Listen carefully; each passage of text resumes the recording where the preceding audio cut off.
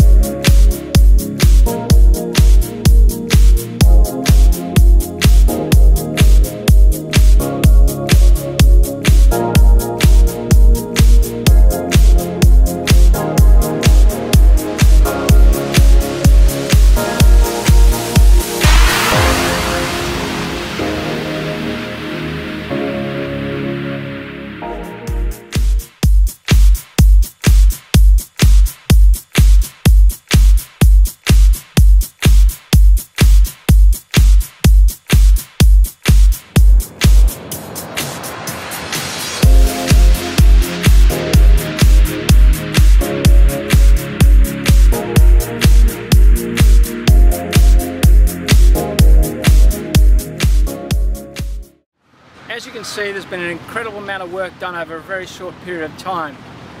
It's been a long process, taking it from the planning stages to where it is today. There's still some more to do, so there's a few more months where if we have patience and we all work together, we're going to build an incredible school where our students can be the best that they can be.